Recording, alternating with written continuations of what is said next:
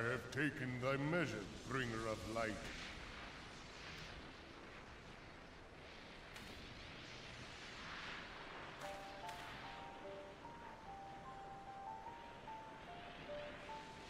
And I judge thee a worthy champion.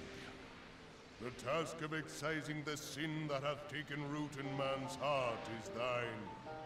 Shrink not from employing thy strength in service to the forest and the wider realm beyond. Like hungering shadows do the enemies of harmony gather, and meekness will but feed them.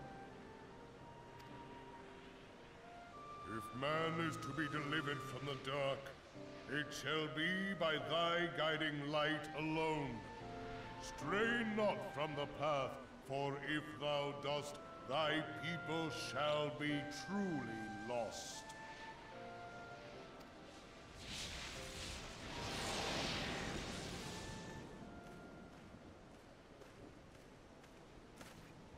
Thou hast slain the Lord of Levin.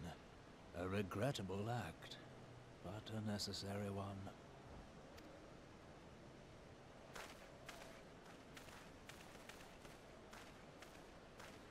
In witnessing thy struggle, a truth hath been revealed unto me.